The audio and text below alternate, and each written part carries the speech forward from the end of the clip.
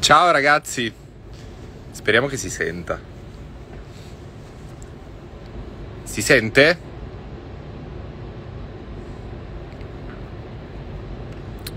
Se mi date un ok quando mi dite che si sente, io inizio a darvi alle danze. Ciao a tutti innanzitutto.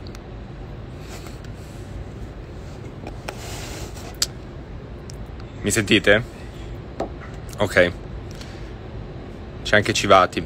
Allora, eh, vi faccio un piccolo cappello introduttivo, ragazzi, giusto perché eh, ho appena finito di leggere un, un articolo fantastico del uh, signor Stefano, del giornalista Stefano Feltri, dove in sostanza no, non, capi, non, riesco ne, nemmeno a cogliere se fosse serio o ironico, francamente, però in sostanza metteva accendevo il riflettore sul fatto che io e mia moglie con milioni di follower saremmo in qualche modo da regolamentare perché eh, opereremmo in una zona franca, in una zona grigia non regolamentata. Eh, perché siamo degli imprenditori e non potremmo dire la nostra in quanto cittadini e in quanto eh, coscienza civica e civile, no? Paragonandovi alla mafia paragonandoci alla mafia. Ok, c'è un mio amico Giambo, lui è Giambo della musica che gira con cui abbiamo fatto il fondo per eh, i lavoratori dello spettacolo. È venuto qua a salutarmi in realtà, non... però mi è, mi, è, mi, è, mi è, d'aiuto perché è molto bravo. E trovo, trovo assurdo che Berlusconi possa fare l'imprenditore parlare di politica e fare politica, cosa che noi non facciamo, quindi tranquilli amici, non, non, c'è l'obiettivo mio, di mia moglie, di entrare in politica, siamo dei, cittadini, dei cittadini e entriamo nel dibattito pubblico perché ciò che riguarda il nostro paese riguarda noi come riguarda voi. Ed è una cosa che io faccio da quando avevo 14 anni e quindi non vedo il problema che ci sia. Eh, De Benedetti può fare l'imprenditore e può dire la sua, Briatore può fare l'imprenditore e dire la sua, Montezemolo può fare l'imprenditore e dire la sua, Fedez e Chiara Ferragni vanno regolamentati. Allora, se c'è qualcosa da regolamentare, sarebbe, bisognerebbe partire prima magari da, dalle aziende che hanno preso magari dei finanziamenti statali e non sono mai state, eh, non hanno mai, diciamo, rispettato dei vincoli che gli erano stati imposti. Detto questo, io quello che voglio fare oggi è mettere a disposizione la mia piattaforma, la, la mia utenza, per accendere un dibattito, per parlare, per dare un punto di vista diverso eh, su un tema che, che mi sta a cuore e per cui da mesi sto cercando di dare il mio piccolo contributo in maniera attiva, eh, con, con, coscienza, con, coscienza, civica da, da, cittadino. Questo non vuol dire essere un politico, questo significa essere un italiano che si preoccupa di quello che avviene nel suo paese.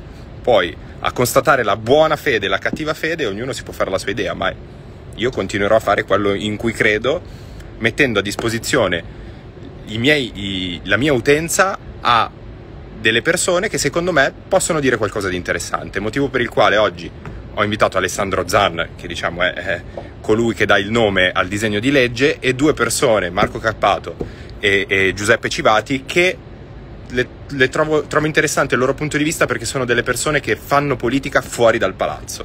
Cioè, sono estranei al mondo dei partiti, ma riescono comunque a portare avanti delle battaglie secondo me importanti, come per esempio il referendum sull'eutanasia che sta portando avanti adesso Cappato. Detto questo, bando alle ciance, io chiamerei Alessandro Zan, non mi ricordo più come cacchio si fa. No, stiamo mettendo un filtro. Um... Di solito richieste. Qui? Qua proprio. Ah, no, domande. Qui se abbassi. Uh fai visualizzare chi è? Ah no. Eh no, no, no, no, no, no. No, devo. Come cavolo si fa? Non mi ricordo più, raga. In alto. Invita a partecipare, ok, ce l'ho fatta. Zan. Eccolo qua. Zan e poi eh, unisco diciamo, vita natural durante anche Cappato e Civati. Ciao, come stai? Ciao, ciao Fede. Bene, tu Federico? Bene, tu come stai? Bene, bene, bene, bene, bene, bene. Uh, da dove... Dove sei a Roma? No, sono a Padova in questo momento. È a Padova. Post allora... vaccinato e un po' febbricitante, però bene, dai. Bene. Senti, da dove, da dove, partiamo? Cioè, io ti farei fare a te, diciamo, un'analisi di cosa, cosa, sta accadendo. Magari faccio un cappello introduttivo io, cioè, io mi sono segnato due o tre robine per fare quello professionale, no? Però, giusto per dire, eh, cosa è successo ad oggi rispetto a, a, quando ci siamo sentiti l'ultima volta sul, sul DDL ZAN? Vabbè, ne sono successe di, di ogni, diciamo. Però, ad oggi, diciamo che c'è stato un cambio di passo importante da parte di Renzi e che il partito di Renzi, quando alla Camera è, è, è, passato il DDL Zan, è passato con una larga maggioranza. DDL Zan che ha subito un iter difficilissimo, molto complicato, con tanti voti segreti, eh, ed è già diciamo, la sintesi e il frutto di una mediazione. Oggi Renzi dice c'è bisogno di un'ulteriore mediazione e questa mediazione dovrebbe avvenire con Salvini e Meloni sostanzialmente. O dimmi se sono state sbagliate. No, no, eh, è giusto, nel senso che hai fatto una ricostruzione esatta.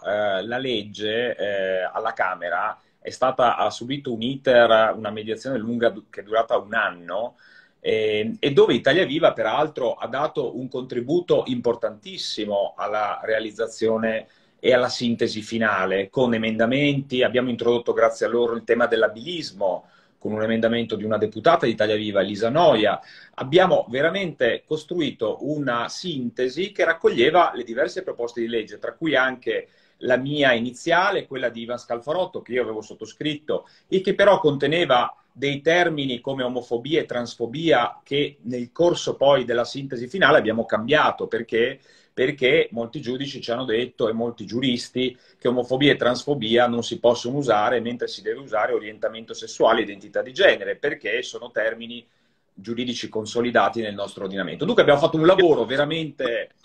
Per cercare di far capire al meglio cosa, cosa sta accadendo, io farei un passo indietro, cercherei di capire cosa, qual è la linea di Renzi oggi. Cioè Renzi che, fa, eh, che rappresenta un partito che ha contribuito a scrivere il DDL ZAN, perché l'articolo, eh, mi ero segnato alcune cose, la ministra Bonetti, ministro delle pari opportunità, è intervenuta sull'articolo 1, giusto? Mi dicevi esatto. proprio. Eh, articolo 1 che ha contribuito a scrivere e che oggi vuole abrogare.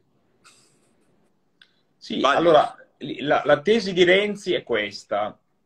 Eh, al Senato la legge così com'è non passa perché siccome ci sarà un Vietnam parlamentare fatto di voti segreti, di trappole, se non riusciamo a costruire una mediazione con la Lega, non con Fratelli d'Italia, con la Lega, ehm, la legge non passa. Il problema qual è? Il problema è innanzitutto che prima di dire la legge non passa bisogna di difendere la legge che si è voluta e approvata alla Camera, perché quella legge lì è il lavoro faticoso durato un anno di tanti parlamentari che hanno lavorato giorno e notte, che hanno prodotto quel risultato, che ricordo è stato approvato a larga maggioranza e come dicevi giustamente tu, con tantissimi voti segreti di mezzo.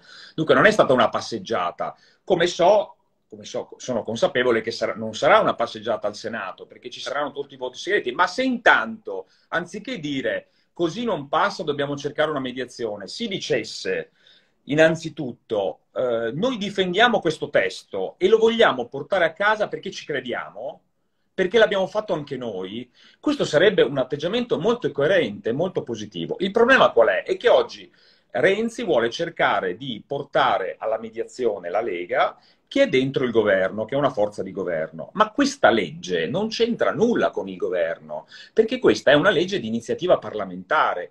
Quando noi abbiamo iniziato il percorso, era il, l'ottobre del 2019, Federico, cioè c'era un altro governo, era un altro mondo politico. E dunque, e come tutte le leggi, la legge sul divorzio, la legge sull'aborto, non sono state approvate da maggioranze che coincidevano con quella del governo, ma, ma sempre da maggioranze altre, no? con, trasversali in Parlamento. Tant'è che questa legge è stata votata anche da parlamentari di Forza Italia. Io do un punto di vista proprio se- sempliciotto, perché sono una persona semplice, ma come, come, si può pensare di mediare su una legge per i diritti di, di persone con un partito che ha firmato la carta valoriale di Orban, che ha al suo interno una persona che, cito testualmente prima che poi mi quereli, che eh, le donne siano più propense in materia di accudimento, citazione di Pillon, che ha all'interno del partito attivo, attivi in questo momento come sindaci eh, in comuni italiani, persone che hanno detto brucerei mio figlio, metterei mio figlio nel forno se fosse gay, eh, i matri- se, se, i matrimoni omosessuali fossero, le, fossero validi, ci sarebbe l'estinzione della specie. Cioè, come si può pensare di poter mediare con chi porta avanti un pensiero di questo tipo? Lo trovo paradossale. Esatto, è, la Lega è quella che è andata, è volata eh, con la Meloni a braccetto di Orban a sottoscrivere quella cosiddetta Carta dei Valori che contiene delle cose orribili, omotransfobiche, ma Orban ha approvato una legge omotransfobica e giustamente l'Unione Europea adesso gli dice non ti diamo i soldi del recovery se non intervieni su questo, giustamente. Ma oltretutto, dico di più, la Lega ha presentato una proposta di mediazione che toglie identità di genere. Identità di genere, che è un termine consolidato giuridicamente, non è un'invenzione del DDL Zan, esiste in tante leggi del nostro ordinamento. Dunque, se lo, togliesse, se lo dovessimo togliere dal DDL Zan, dovremmo toglierlo da, dappertutto, dalla Corte allora, Costituzionale. Secondo me le, le persone, perché ci, ho appena visto un video fantastico di, di, di, di una ragazza che spiegava cos'è l'identità, con in mano la sua carta d'identità, con scritto sono una donna, perché a un certo punto ha fatto un'operazione e lo Stato italiano le ha riconosciuto un'identità di genere femminile. L'identità di genere è maschile e femminile e c'è allora, è... l'identità, l'identità, in realtà tutti noi abbiamo un'identità di genere perché non è una cosa che riguarda solo le persone transessuali no? come tutti noi abbiamo un orientamento sessuale come tutti noi abbiamo un sesso no? Eh, l'identità di genere, in due parole, è la percezione profonda, precoce e strutturata del proprio genere.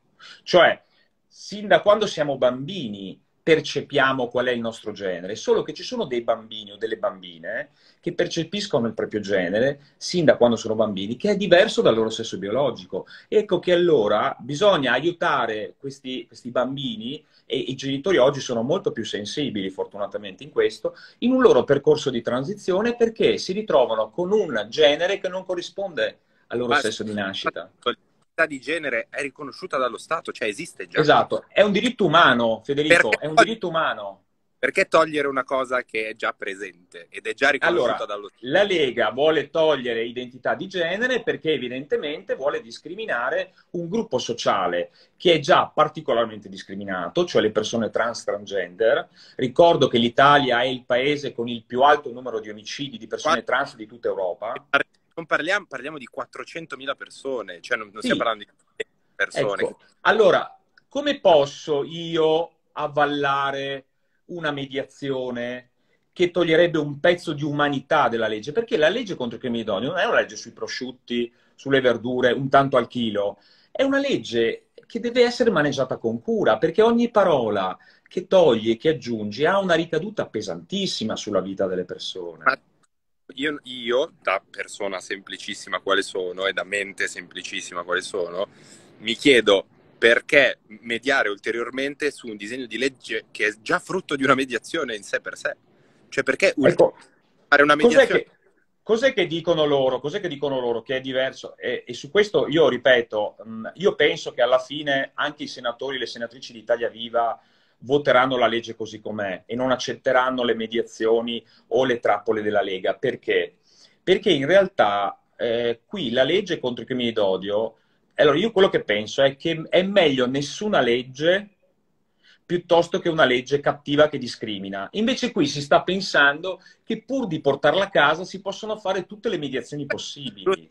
Per dire, ma, ma devo dire, questa è una mia una mia disamina personalissima, c'è un po' di, di, mania di protagonismo di voler mettere il cappello su questa cosa, in questo caso mi permetto di dirlo io, mi assumo tutte le responsabilità ovviamente di tutto quello che dico, c'è diciamo un protagonismo intrinseco in Renzi che non, non, non ha dato dimostrazione solo oggi di voler dire ecco sono arrivato io e Napoleone porto avanti io la baracca. Il tema è che allora, io e te, la dico un po' fuori dai denti, io e te abbiamo due visioni diverse, nel senso io credo, e lo, lo dico fuori dai denti, che sia andato tutto a gambe all'aria. Io ho paura che sia, ho paura che sia andato tutto no, a gambe all'aria. No, no, no. Tu no, io... tu, tu no. Infatti, eh, oggi... Se no, non avrei fatto questo lavoro, Federico. Oh, no. Cioè, io ho portato a casa, con l'aiuto di tanti colleghi, la legge alla Camera, con tante difficoltà. Guarda che tante volte ho detto questa volta non ce la facciamo, questa volta non ce la facciamo. Però bisogna andare avanti ed essere determinati per raggiungere l'obiettivo. tu oggi mi hai detto Federico, mi raccomando, fai il bravo perché se, se mi sei troppo duro poi mi, mi, scombussoli che magari chi mi votava sì, poi mi vota no. Quindi io oggi sarò molto cristiano, però dall'altra parte io nel caso in cui, ma, in maniera sciagurata che non ci auguriamo, non dovesse passare, non vorrei nemmeno che passasse la narrazione che i, i, un, un, un politico con manie abbastanza centratrici che non aveva sostanzialmente a cuore realmente i diritti delle persone, si attestasse, si mettesse il gagliardetto di ci ho provato, quando in realtà io vedo nel, nel tentativo che, che, vuole fare Renzi qualcosa di, che, che potrebbe avere delle, delle, delle, motivazioni che vanno al di là del DDL ZAN, delle motivazioni politiche che vanno oltre in qualche modo. Può aver senso questo mio pensiero? Guarda io, guarda, io, non lo so e, e, voglio, e, non voglio nemmeno pensarlo che sulla pelle della gente poi si facciano accordi politici di altro tipo, perché non stiamo parlando appunto di una legge economica, ma stiamo parlando di una legge contro le discriminazioni, dunque una legge dei diritti umani. Quello che dico io è che Renzi eh, gli va riconosciuta, ad esempio, una grande forza di volontà per le unioni civili. Lui ha preso in mano la situazione, chiaro, abbiamo sacrificato la stepchild adoption, ma abbiamo portato un risultato a casa e questo lo si deve a Matteo Renzi. Però adesso il quadro è cambiato, lui allora era Presidente del Consiglio, ha posto la fiducia, ha convinto qualche riottoso e ha portato a casa il risultato. Adesso non è più così, cioè qui non si può portare dentro il governo in una legge che, eh, soprattutto se, se, nel governo c'è la Lega, che come dicevi tu, ha, come dire, lo ricordiamo, stellari, no? abbiamo fatto la battaglia assieme, eh, che ha tenuto insabbiata la legge per mesi e mesi in Commissione Giustizia, chiusa in un cassetto. Abbiamo dovuto fare il, il, diciamo, la, il 48 per poterla portare fuori, no? Trovo, francamente, io capisco, la scusa di Renzi è la politica è una cosa difficile, ragazzi. Io qua la faccio da anni e non è che può arrivare degli stupidotti a dirmi come, come si fa la politica. D'altro canto, io sempre mente semplicissima, dico ma come si può pensare di mediare con, con de- degli individui che hanno delle idee ben precise? E, e, esatto. E è difficile trovare una mediazione. Ti leggo una cosa che, che ho letto di, di, un giornalista, Scalfarotto, che ha scritto una cosa molto sensata, secondo me, ha fatto un'esegesi perfetta. La cosa singolare è che Fedez pensi che sia lecito parlare di Renzi, ma non con Renzi. La cosa singolare è che Italia Viva pensi che sia lecito mediare su una legge della comunità LGBT senza parlare con la comunità LGBT. Cioè, è vero. È vero. ed è, è, vero. è un compromesso a ribasso, ma io qui farei intervenire Marco Cappato perché ieri ci ho parlato e lui ha un'idea ben precisa. Adesso devo capire come cavolo si fa, ma posso invitare più gente. Fantastico, ragazzi, la tecnologia sta facendo passi da gigante. Marco Cappato, eccolo qua. Vediamo se mi accetta. Tra l'altro sono in orario perfetto che mi ha detto chiamami alle 18.50. L'ho chiamato alle 18.50 precise. Oh! Incredibile che stia. Grazie, non so come... Eccoci. Bene, grazie a voi. Ciao Federico, ciao Alessandro. Ciao, ciao Marco. Dopo di, mi ritaglio due minuti per raccontare quello che stai facendo e, e lo sbattimento che ti stai facendo, che è pazzesco. Stavamo dicendo eh, siccome ieri e te abbiamo avuto modo di parlare, come questa mediazione che Renzi vuole portare avanti sarebbe una mediazione al ripasso e distruttiva. E secondo me tu riesci a spiegare alle persone in maniera semplice perché sarebbe al ribasso, secondo te.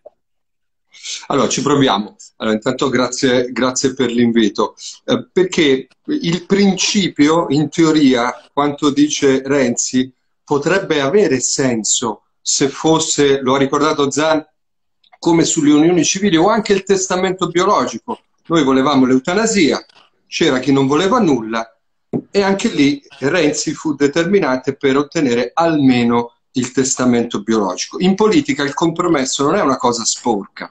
Tu vuoi 100, io voglio 50, prendiamo 75.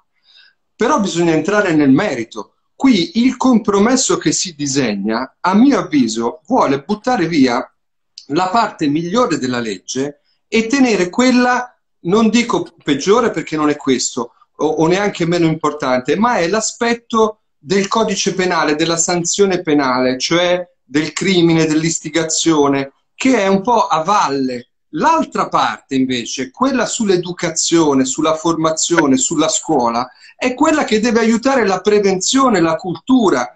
Io personalmente ho molta sfiducia che il codice penale sia lo strumento giusto per realizzare per la, pari, la, la, parità in Italia. Ho, la, ho proprio una diffidenza istintiva da libertario. Poi è chiaro che se c'è questa legge e c'è la legge Mancino e eh, si prevede l'aggravante sull'odio razziale, ma perché non dovrebbe estendersi sulla questione della disabilità sulla questione della sessualità. Però questa è la parte diciamo, più giuridica ma meno importante. La questione dell'identità di genere invece è proprio la parte non rinunciabile perché significa che la mia identità di genere, cioè come mi sento io, come mi percepisco io, lo decido io, non lo decide neanche la caratteristica come dire, perché tu hai fatto l'esempio, Federico, di una persona che ha fatto l'operazione il cambiamento di sesso. Ma l'identità di genere può anche essere di una persona che non ha fatto il cambiamento e se non si utilizza la definizione dell'identità di genere, quella persona è esclusa dalla parità dei diritti. Da una legge, dico una cagata, da una legge contro le discriminazioni diventerebbe una legge che, che in qualche modo discrimina qualcuno. Infatti, quindi il ragionamento di Renzi, che in astratto è un ah, ragionamento della nobiltà della politica. C'è una posizione, ce n'è un'altra, si fa un compromesso, se no non passa la legge. Ma non nel possiamo... Non ha senso. Nel, nel merito, se tu per fare il compromesso, io il compromesso lo farei anche con chiunque, si farebbe anche con la Lega se fosse un compromesso che salva il cuore della legge. Se invece il compromesso butta via la parte della prevenzione, dell'educazione e della formazione, che guarda caso, ovviamente non è un caso, è la parte che ha fatto intervenire il Vaticano con il concordato, evocando il concordato, i trattati internazionali, allora è evidente che non perché si vuole essere massimalisti o tutto o niente, ma è nel merito che quella proposta di compromesso diventa una strada sbagliata perché a quel punto effettivamente tutti speriamo, tutti noi che siamo d'accordo, che la legge possa passare, ma piuttosto che avere una legge amputata della parte più importante, a questo punto effettivamente, allora diciamo, nella prossima legislatura,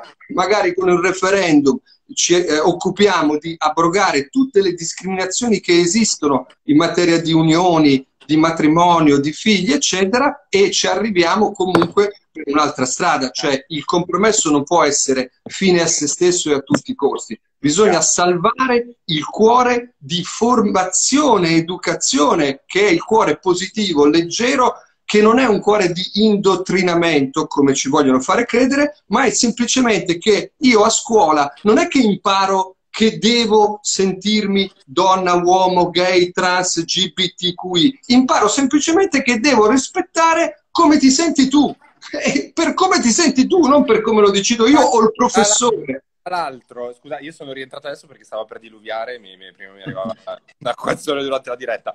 Il, il, mi, cioè, io, da esterno, so che la Lega e, e le forze con cui Renzi vuole cambiare si oppongono proprio a questa parte della legge. Quindi lui consapevolmente sa che sta andando a smembrare se va a scendere a patti con quelle forze politiche stanno andando a smembrare quella parte lì.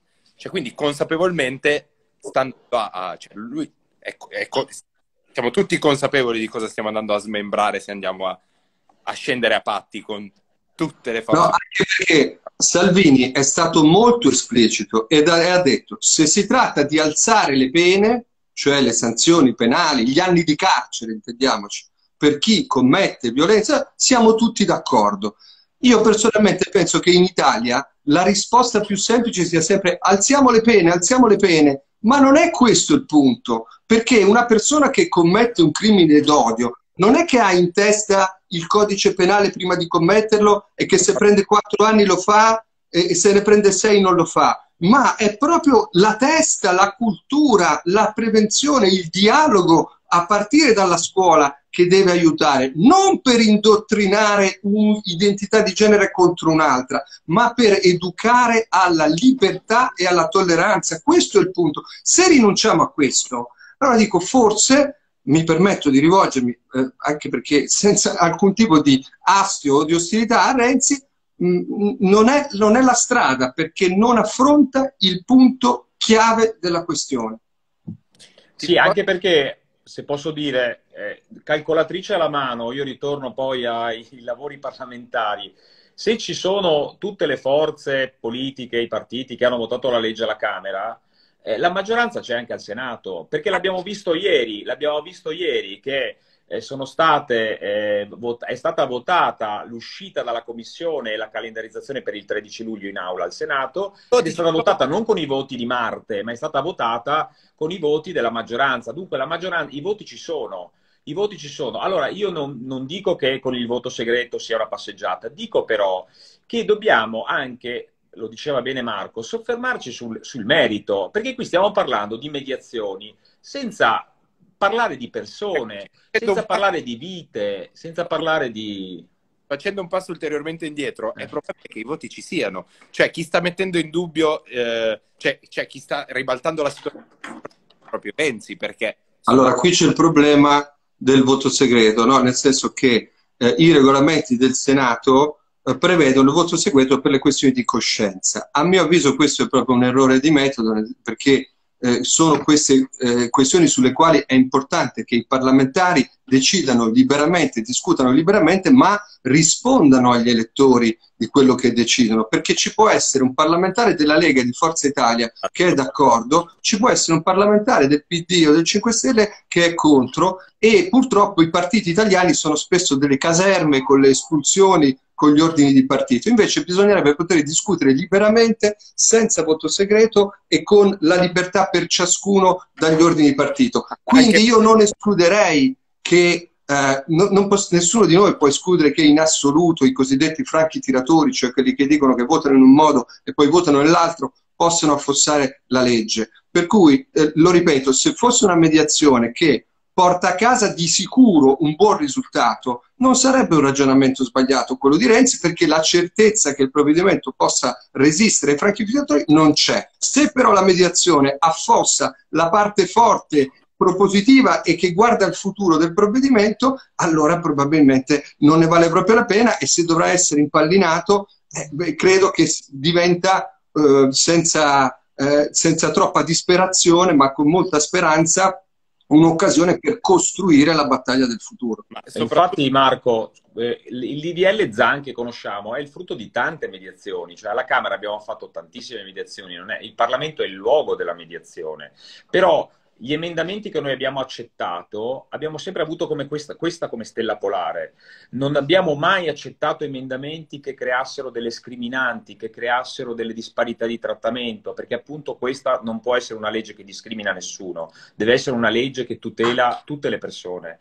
E dunque, proprio su questo, io ehm, anche al Senato, quello che dico io è, guardate che eh, anche sulla questione dell'identità di genere, Mm, cioè, tro- troviamo anche eventualmente un'altra forma di mediazione, ma il problema qual è? È che il tentativo di mediazione della Lega è semplicemente una trappola. Infatti, quello che io ho detto agli amici di Italia Viva, non cadete nella trappola della Lega, perché la Lega vi vuole usare come cavallo di Troia per, per affossare la legge. Perché se ci fosse stata una buona fede della Lega, l'avrebbe dimostrato nei fatti. È chiaro che se mi presenta una mediazione che esclude le persone trans, eh, quella è una mediazione che evidentemente vuole togliere un pezzo di umanità. Un pezzo di umanità. Questo non è, non è, non è accettabile, non è possibile. Per cercare di spiegare meglio uh, la questione del segreto, cioè il voto segreto è una cosa che può aver senso nel momento in cui un parlamentare, un senatore deve votare qualcosa che va eh, che è discordante rispetto alla linea del partito. Però rispetto a delle cose che riguardano leggi civili, le leggi di tutti, io, io da cittadino vorrei aver conto di cosa ha votato il, il, mio senatore di riferimento e di valutare il suo operato. Questa cosa del voto segreto, francamente, sul DDL ZAN la trovo un po', no, un po' no senso, francamente. E domanda per Marco, poi lo saluto che so che deve andare. Ah no, poi ti devo, devo farti, ti chiedo un'altra cosa. E mettiamo caso, scenario brutto, non passa.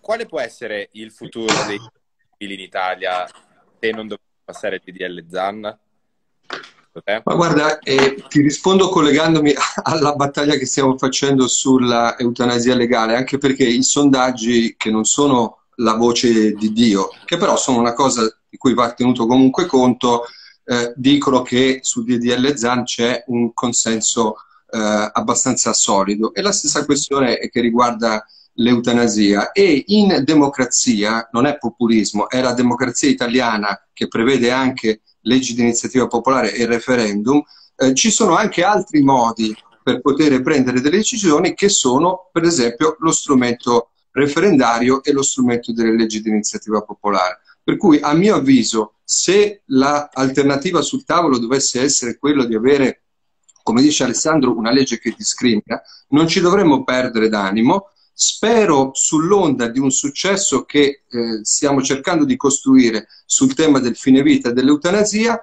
all'apertura della prossima legislatura. Se magari il governo riuscisse anche a autorizzare la firma online attraverso SPID dei referendum, credo che potremo organizzare un pacchetto di proposte che riguardi l'eliminazione delle discriminazioni rispetto al diritto di famiglia, la fecondazione assistita e tutto quanto riguarda i figli, eccetera, e che questo pacchetto possa essere portato serenamente alla decisione diretta del popolo italiano se per i partiti è così difficile affrontare questi temi senza farne subito una questione di rissa tra una corrente, una maggioranza e un'opposizione. Perché quello che diceva Alessandro all'inizio è fondamentale. È, eh, il governo Draghi non è nato per decidere sull'eutanasia eh, o sull'omotransfobia, eh, è nato con un compito che ha un ampio consenso nel paese, che è combattere la pandemia e eh, cercare di eh, assicurare la ripresa economica.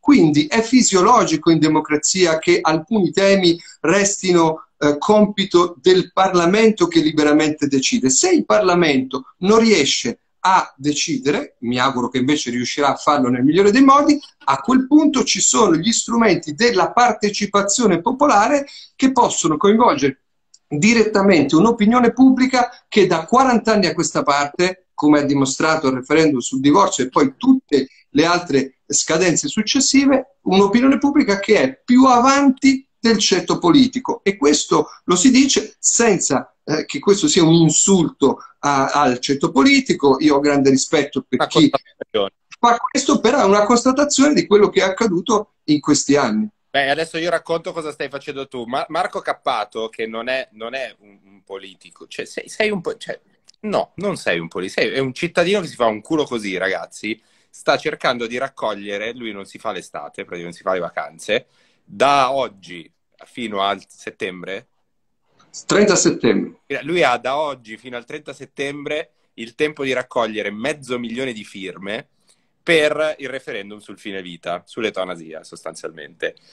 Solo che per farlo in Italia, che mi, mi, spiegava l'altro giorno che è uno strumento pazzesco perché non tutti i paesi l'hanno il, il referendum costituzionale. Sì, è un referendum previsto dalla Costituzione e abroga le leggi ordinarie. Ok. Eh, solo che per farlo in Italia deve, lui deve fare dei banchetti dove ogni banchetto in Italia deve avere un pubblico ufficiale che certifica la firma. Può Quindi, essere un avvocato o un consigliere comunale, un sindaco, eccetera. Esatto. Guardatevi lo sbattimento che si sta facendo andando in giro per l'Italia a raccogliere queste firme. Però... Siamo a Bari e eh, inizia un tour pugliese di tre giorni dove tocchiamo tutte le province più Matera. Però c'è uno strumento che poi lo farò anch'io, farò vedere in un video, che se andate all'anagrafe, giusto? All'ufficio sì. della... Io ce l'ho di fronte al mio ufficio. Eh, e chiedete il, il, il, modulo. Il modulo posso firmare il referendum sull'eutanasia? Te lo danno e puoi andare tu a firmarlo di tua sponte. Comunque lo farò vedere io in questi giorni. Esatto, allora i moduli sono appena arrivati nei comuni sopra i 10.000 abitanti, negli altri comuni più piccoli arriveranno nei prossimi giorni. Eh, ovviamente non lo sto facendo da solo, ma ci sono quasi 10.000 persone che si sono registrate come volontari e come volontari sul sito che è referendum.eutanasialegale.it e quindi chi ha voglia di dare una mano per creare questa mega impresa di raccolta delle firme naturalmente è benvenuto, eh, fanno, anche i parlamentari possono autenticare le firme, Alessandro è già nel, nell'intergruppo, ma anche altri stanno, lo stanno facendo, tra l'altro anche di destra, oltre che di centro e eh, di sinistra, quindi è una, eh, un'iniziativa trasversale che non significa avere già deciso, significa, visto che da 37 anni la prima proposta di legge, Loris Fortuna, il padre della legge sul divorzio, da 37 anni il Parlamento non è riuscito a decidere, lo può fare direttamente il popolo italiano con il referendum. Il popolo Perfetto. italiano con il referendum.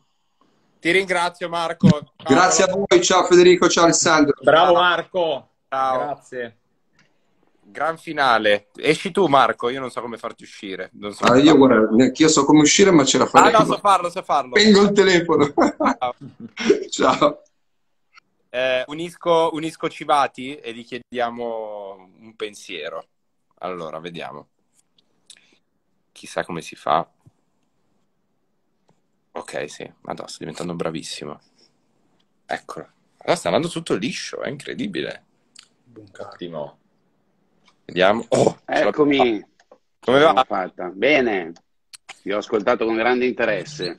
Ciao, devo dire Ciao Alessandro, e devo dire che è tutto il giorno che mi insultano perché siamo a favore della libertà d'espressione, è incredibile, perché l'argomento che usano per difendere le norme più conservatrici, gli emendamenti più incredibili che avete benissimo descritto, è proprio questo concetto della libertà d'espressione. Invece voglio ringraziare eh, Alessandro per il lavoro parlamentare, Marco è andato via ma forse ci ascolta per questa battaglia che condividiamo, ma soprattutto chi si spende in modo generoso per una battaglia che non gli porta a niente, perché poi vediamo nei commenti che c'è uno a favore e uno contro no? nella tua fan base. Quindi eh, non capisco perché i cittadini, le cittadine, le persone più in vista non possano partecipare al dibattito pubblico. È un'idea della politica eh, molto riduttiva e molto pericolosa, peraltro.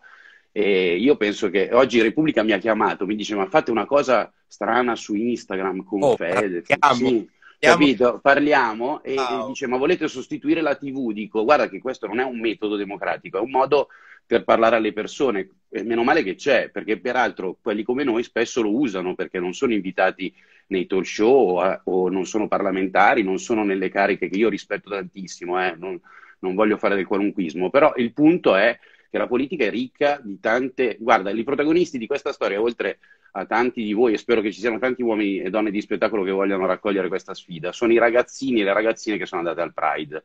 Io ero colpitissimo, cioè starò invecchiando tantissimo e voi riderete, però vedere quindicenni, ventenni con i, degli slogan belli, liberali, aperti, appunto non di nessuna bandiera, perché poi anche questa storia delle tifoserie, ma quali tifoserie? Cioè questa in tutta Europa è considerata una misura minima di laicità, in, in, Italia si fa fatica in politica, e Alessandro lo sa, a, pa- a, parlare di trans, perché è una parolaccia, capite? Io ho dovuto togliere da un programma elettorale della lista più a sinistra che si è candidata alle elezioni l'altra volta, perché dicevano trans è troppo...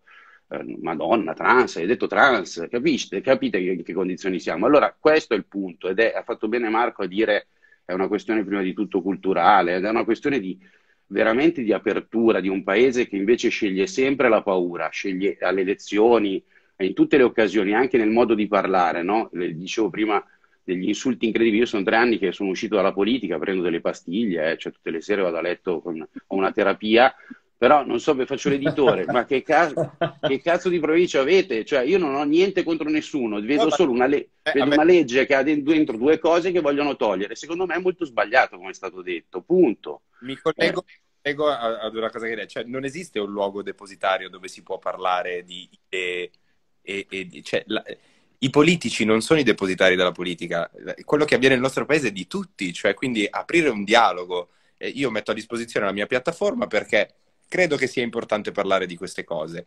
Nei commenti è, è, normale che c'è chi scriverà stronzate come le stai scrivendo, c'è chi non è interessato, c'è chi non lo è. A me sta a cuore.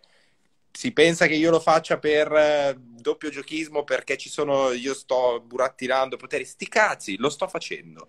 Poi ognuno può valutare, può ascoltare quello che c'è da dire, chi è interessato, chi non è interessato, chi fa niente, io ho una mia coscienza civica perché sono un cittadino, il fatto che io abbia dei follower a disposizione, come dice oggi Stefano Feltri, che io dovrei essere regolamentato dallo Stato perché sono in una zona grigia in cui opero in maniera poco lecita, secondo lui, perché esprimo il mio pensiero, lo trovo francamente assurdo. Cioè, la televisione non è depositaria del, del, del, del parlare del paese della politica, i, i, talk show non lo sono, tutti i luoghi sono buoni per, per essere un luogo di condivisione e di scambio, anche il, luogo in cui ci troviamo ora. Detto questo, ti volevo chiedere, io voglio proprio entrare nel merito.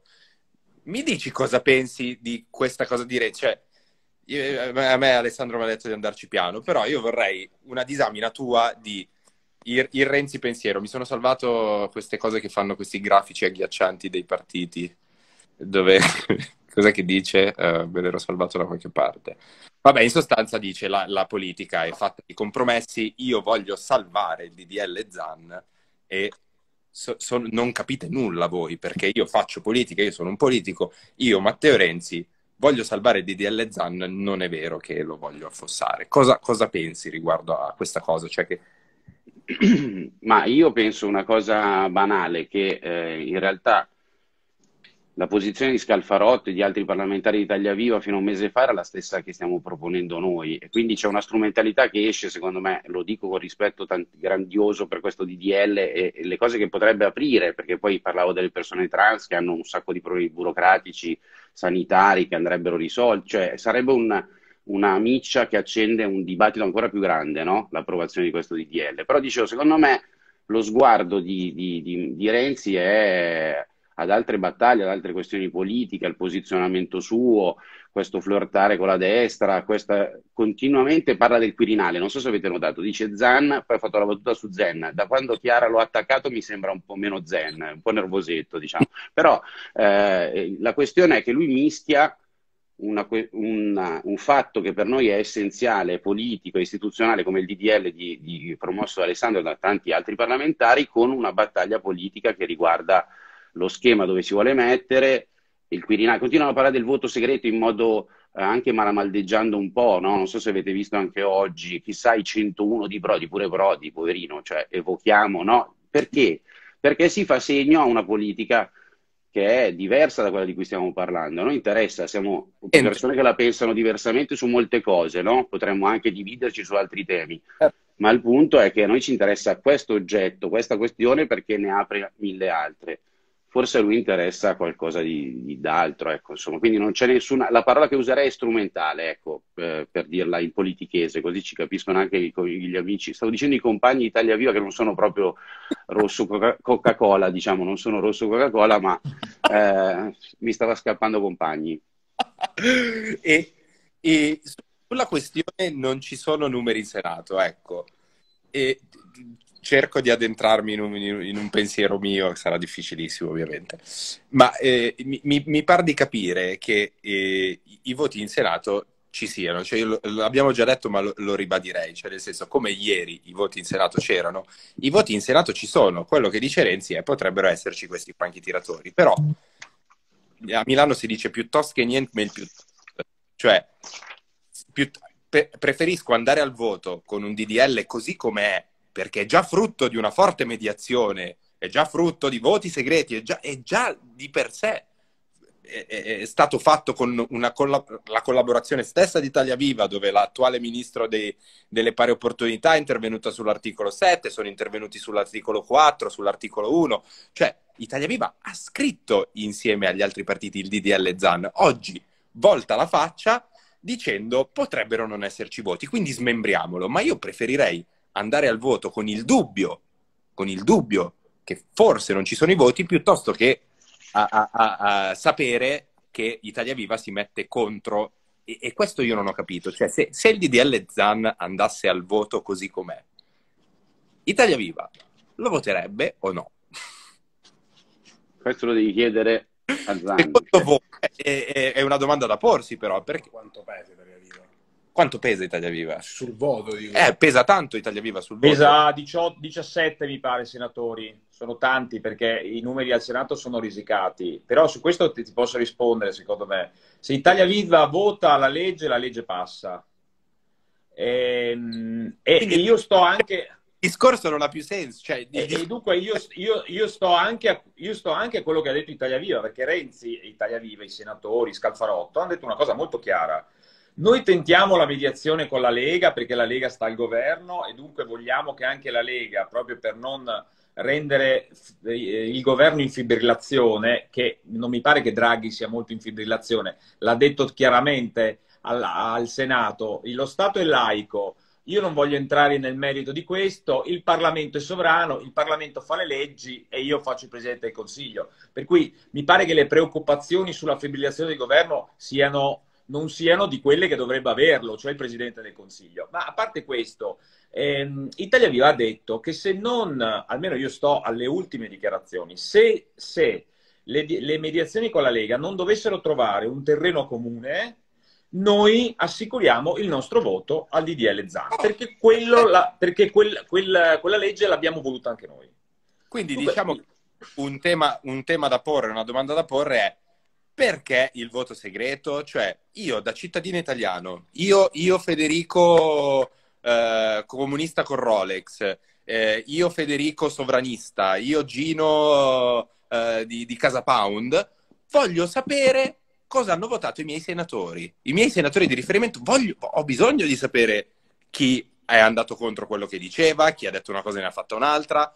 Ho, ho bisogno di sapere. Cioè, tra l'altro alla Camera è successa una cosa, è un boomerang il voto segreto, perché volevano mettere il voto segreto per affossare la legge, in realtà molti parlamentari del centrodestra, che ovviamente siccome tutti viviamo nella società, nel paese reale, abbiamo figli omosessuali, eh, cugini, amici, persone trans.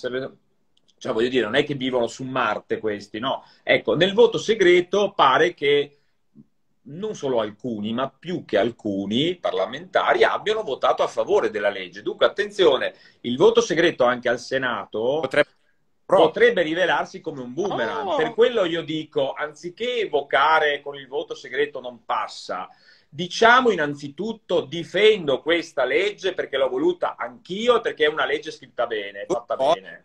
Point, è vero. Eh, quindi la gente Renzi dice occhio ai franchi tiratori, ma qui bisognerebbe dire occhio perché ci sono anche i franchi tiratori degli altri che potrebbero esatto. votare. C'è una senatrice di Forza oh. Italia che ha fatto coming out, ha detto io sono lesbica, ho una compagna e voterà il DDL Zan e non sarò l'unica in Forza Italia. Dunque attenzione perché non è che dall'altra parte sono tutti eh, Pillon, Malan e così, ci sono anche delle persone realmente liberal, realmente liberal che eh, invece la legge la vogliono votare. Eh, per cui... Posso dire una cosa, stupidissima ovviamente. Non, non, ha niente senso, cioè questa cosa che ha messo in campo Renzi non, mi sembra che non abbia minimamente alcun senso perché se da una parte c'è quello che dice Renzi, dall'altra parte c'è quello che dici tu, cioè se ci sono i franchi tiratori da una parte, ci sono anche dall'altra. E quindi perché voler mettere in discussione una legge in, in cui il partito di Renzi ha contribuito, è stato parte attiva e integrante? Non Perché ha... lui è stato il deus ex machina del governo Draghi, dal suo punto di vista ha detto io ho fatto cadere il governo Conte e grazie a me è arrivato Draghi. Adesso, adesso forse Renzi si sente un po' il responsabile della tenuta di questa maggioranza e vuole, e vuole coinvolgere la Lega. Ma eh, teniamo fuori il governo da questa roba, ti prego. Beh, lo dico a tutte le persone, non solo a Matteo Renzi, non solo a Italia Viva, lo dico a tutti, teniamo fuori il governo da questa cosa. Questa è una legge di iniziativa parlamentare, non, è difficile trovare, se non impossibile, una mediazione tra parti che hanno idee opposte, che hanno visioni opposte. Cioè, se uno mi dice, come Salvini, che secondo lui la legge Orban è innocua quella che ha fatto la legge omotransfobica fatta in Ungheria, ma io l'ho letta, è innocua. Ecco, se uno mi dice così, ma cosa, da, cosa, che, che, tipo di relazione e mediazione posso fare con uno che mi dice che una legge eh, che ha approvato Orban è innocua? Eh, vuol dire che anche da questo punto di vista, siccome anche Italia Viva e Renzi, quando Orban ha approvato quella legge terribile omotransfobica, hanno preso giustamente le distanze, ecco che da questo Ma punto di vista... Troppo lontano dalla legge Orban, cioè, io eh, guarda, eh, ripeto delle cose per cui non posso più andare in Rai. Cioè, parliamo di un partito dove al suo interno ci sono persone che hanno fatto delle asserzioni ben specifiche che sono ancora lì. Quindi, che hanno detto, se mio figlio fosse gay lo brucerei nel forno. eh, io le ripeto sempre perché secondo me è, è, meglio non dimenticarsele, perché come diceva Montanelli siamo un paese senza memoria storica, quindi bisogna, bisogna ricordarle le cose. Cioè parliamo di, di, di, di un pillon che eh, alla fine poi l'hanno fatto relatore, eh, pillon. No, no, No, eh, no eh, rela- relatore si è autonominato Stellari. O Stellari, eh no, poi chi ha chiamato lui gli, gli Avengers di Ostellari? Chi erano? No, no, ha, si è nominato relatore lui. lui Ma che... poi ha, chiamato in commissione anche Zelger. Ah, ha chiamato le audizioni, sì. Le audizioni ha chiamato Ostellari ha chiamato Zelger, che è quello che ha detto se le unioni civili fossero, se i matrimoni gay fossero legali, porterebbero all'estinzione della specie. Cioè, esatto. Ma uno ha anche detto che la pedofilia è un orientamento sessuale in quelle adozioni. o uno ha anche detto che ci sono troppi giurati gay a ballando sotto le stelle e dunque c'è una lobby gay che ci sovrasta. E, e gli è stato detto, ma guardi che lei è stato invitato per commentare la legge, non per parlare di ballando sotto le stelle. Ecco, dunque, per dare l'idea del tenore e della qualità delle audizioni che ci sono state in Senato, eh, povero oh. Senato, tragicomico. Vi posso fare una domanda che è una mia mera curiosità? Quanto secondo voi può aver influito l'intervento del Vaticano sul DDL ZAN sulla situazione che stiamo vivendo oggi, cioè sulla situazione attuale? Ma eh, inizio io molto perché ha dato la possibilità, ha dato les, come dire, è stata un'esca straordinaria per riaprire un dibattito che invece si stava concludendo. Io non sono né pessimista come te né così ottimista come Alessandro che lo deve fare per forza. Sono un po' a metà strada che sono preoccupa, lo dico sorridendo è perché porto sfiga, quindi se dico che passa poi dopo non passa e venite tutti a prendermi a casa, ma eh, in realtà questa cosa ha aperto una discussione, tra l'altro ho avuto una discussione anche con Enrico Letta, che io chiamo Enrico Light, perché sempre queste posizioni un po' moderate, che non si capisce bene, che dice il Vaticano va ascoltato. Boh, io penso che no, cioè nel senso che anche il Vaticano usa degli argomenti che sono fuori dalla laicità di una repubblica che è quella che ha detto Draghi. Io sono un estremista radicale, pericoloso, fuori dal Parlamento, però Draghi mi pare abbastanza centrale, no? O anche uno importante in Europa. Insomma, quindi se lo dice lui, forse possiamo anche alzare le spalle e dire se una cosa è giusta la fanno altri paesi europei, senza essere anticlericali, senza parlare male della Chiesa, però facciamo quello che, che riteniamo essere utile, lo ripeto, per i, i cittadini e le cittadine, perché eh, Alessandro diceva bene prima, eh, questa legge va a tutelare persone che non sono tutelate, va a, a costruire cultura contro la violenza,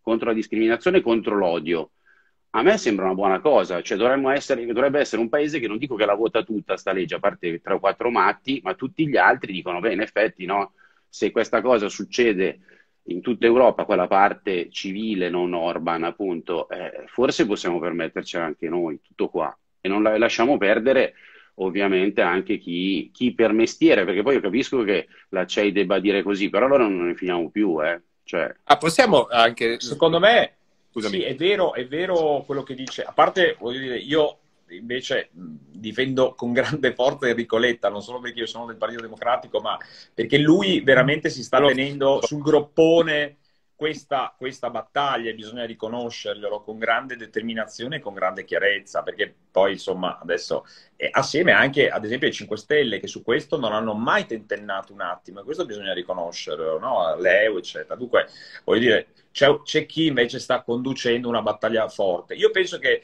il, la, la, l'intervento del Vaticano, oltre ad essere stato, l'abbiamo detto più volte, un'ingerenza uh, in, abnorme, impropria, è anche un segno di debolezza, perché, perché arri- eh, arrivare a ricorrere diciamo, ad una nota diplomatica e non semplicemente ad un intervento uh, della CEI, del, che, perché è sempre stata la CEI, no? la Conferenza Episcopale Italiana, che si è... Eh, occupata delle questioni politiche italiane, ma quando uno Stato estero eh, consegna tramite il proprio ambasciatore una nota verbale al nostro ambasciatore su una legge dello Stato che peraltro non è stata approvata, perché se fosse stata approvata la legge ZAN, uno potrebbe aver detto eh, ma questa legge viola il concordato in queste cose. Ma averlo fatto a legge non approvata è stato particolarmente...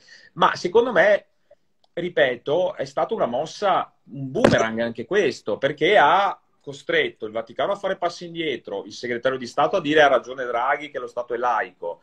E è vero, ha creato delle fibrillazioni, però io penso che ehm, tutto quello che siamo riusciti a fare e la mobilitazione che c'è stata, e anche grazie al, all'impegno uh, di Fedez, che ringrazio, perché eh, qua, eh, voglio dire, tutti sono bravi a criticare, però poi chi mette la propria faccia, il proprio tempo, e, e, la spende per una battaglia di civiltà è comunque da apprezzare e da ammirare. Dunque il mio grazie ci sarà sempre e assieme a lui tante persone del mondo della cultura, del mondo dello spettacolo. Cioè guardate, su questa legge c'è stata una mobilitazione anche in tempi di pandemia dove i social sono l'unico strumento che noi abbiamo a disposizione, veramente che non si era vista che non si vedeva da tanto tempo, che dimostra che i giovani si avvicinano alla politica su temi di impegno civile, sui temi dell'ambiente, sui temi della legalità e, e, penso che questo sia un valore enorme, cioè al di là di come andrà a finire, io sono, rimango ottimista,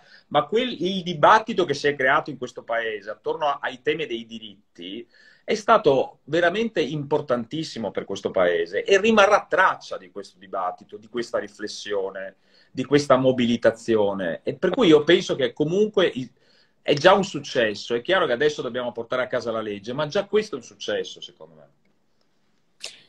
Sono molto d'accordo. Posso chiudere con una cosa? Poi non so se tu vuoi andare avanti tutta la notte. No, vai, vai, fino all'approvazione, andiamo avanti fino all'approvazione no, di DL. No. Diciamo, tipo maratona mentana.